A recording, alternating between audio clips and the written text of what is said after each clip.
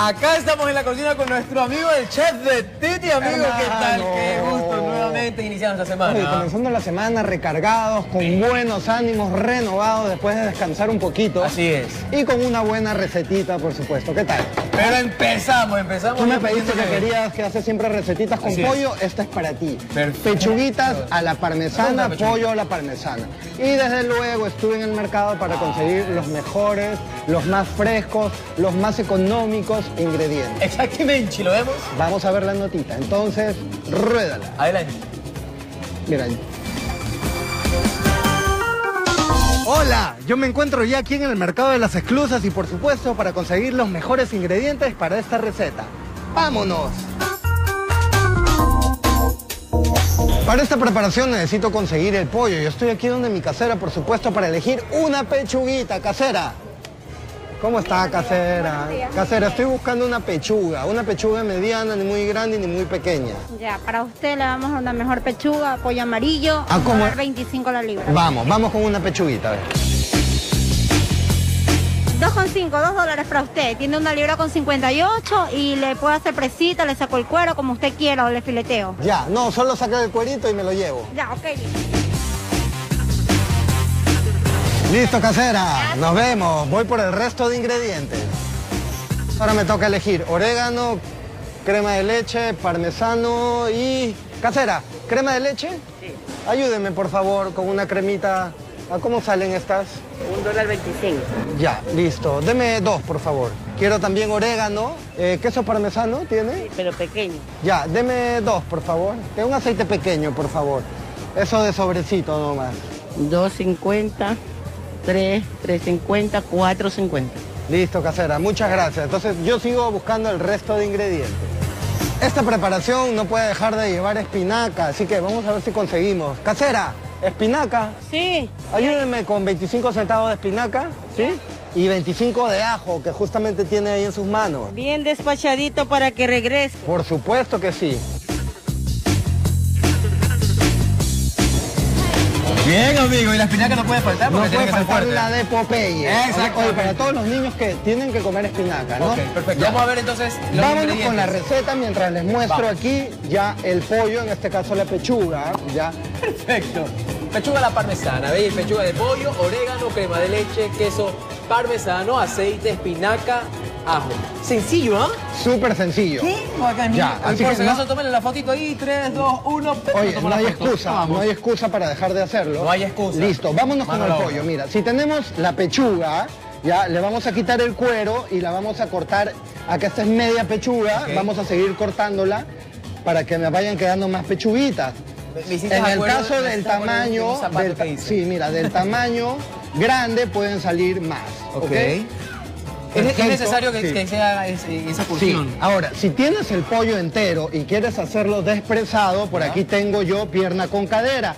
La abrí y le dejo la piel. Ah. Vamos a ver la diferencia, cómo hacer, cómo cocinar desde un comienzo cuando tiene piel y cuando no la tiene. Ah, ¿Ya? vamos Listo, voy a calentar aquí mi aceite mientras aliñamos en esta primera parte. ¿Qué tenemos en el mortero? Un aliño casero. Ya, ¿qué tiene? Listo, tenemos ajo, Ajo. sal, Sal. un poquito de pimienta si lo quieres y orégano. Mira. Perfecto. Bien ahí, machacadito, bien si no tienes el montero, tranquilo, con, con el cuchillito bien aplastado, con una piedra, con el vaso, pero hazlo, ¿ok? Perfecto. Ahí.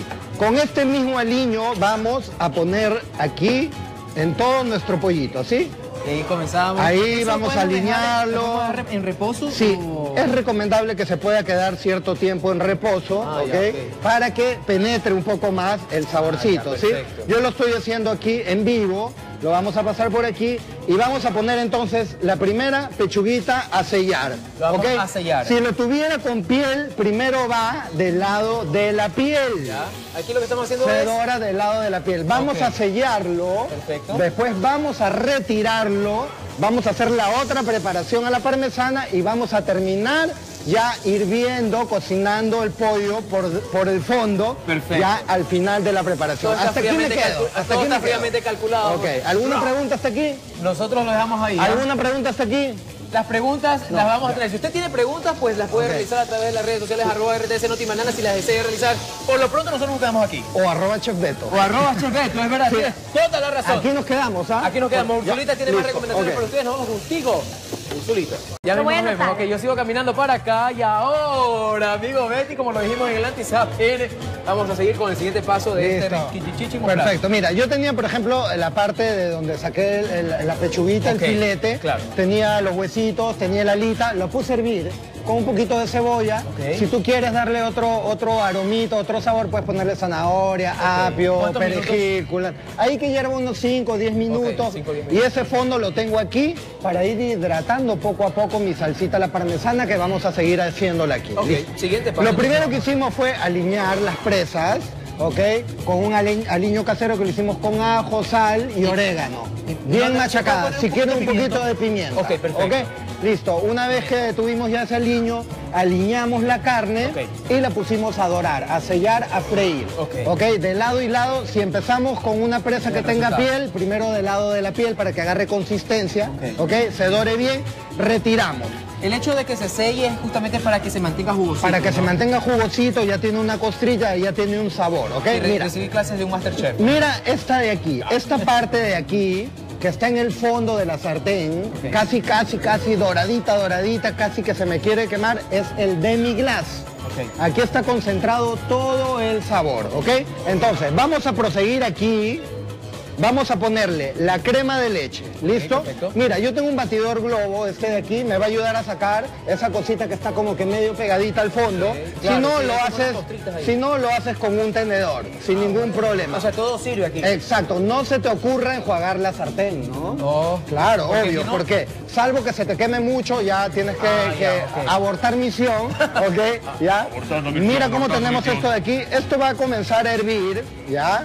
Y vamos a ponerle un poquito del fondo, ¿ya? De nuestro pollo, mira. Un poquito, un poquito, un poquito, para hidratar aquí, ¿ok? Esta crema, esta salsa, no la voy a espesar con harina, con nada, ¿ok?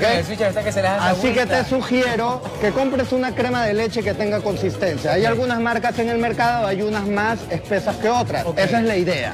¿Ya? Listo. Ahí. Ahora vamos a poner entonces ya nuevamente nuestras presas. ¿Qué te parece?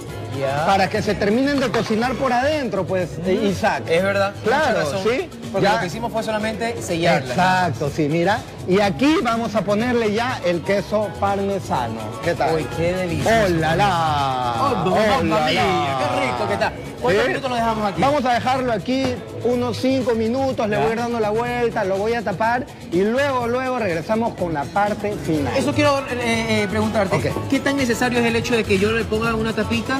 Sí. ¿Es necesario Mira, cuando así? nosotros tenemos crema de leche, no tenemos que llevarlo a hervir mucho porque nos corremos el riesgo de que se corte.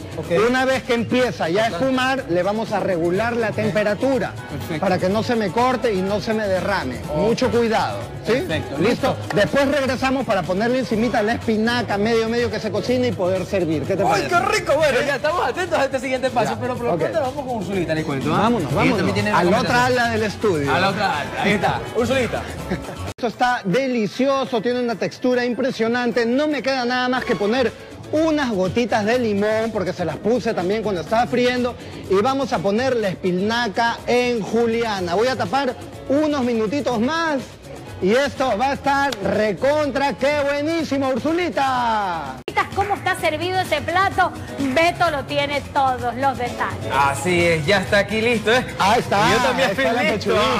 Pechuguita. ¡Ay, qué rico! Súper sencilla, ya saben, arroba Chef Beto o arroba RTS Notimanana. Puedo probar, puedo probar. No dejes de preparar todas las recetas que tenemos y quiero mandar un saludo recontra, que recontra, que recontra especial a mi mamita que está de cumpleaños. ¿En serio? Rosita. ¡Mira la Rosita, Santa! Te quiero, eres lo mejor para mí. Santa. Lamentablemente no nos está viendo, ya está en Perú. En Perú está complicado el tema también de la pandemia, así que a la distancia te haré llegar este video, mamita querida. Un beso. ¿Qué tal? ¿Bueno? Felicidades por tener ¿Sí? un hijo que prepara comida deliciosa. Gracias, gracias, Muy gracias, bien, riquísimo, Sí. espectacular. Buenazo. Así nosotros nos estamos despidiendo ya de este programa espectacular con este plato exquisito, pero además, Ursulita, te tiene recomendaciones, ¿ah? ¡Felicidades, Beto! Buen provecho, compañero.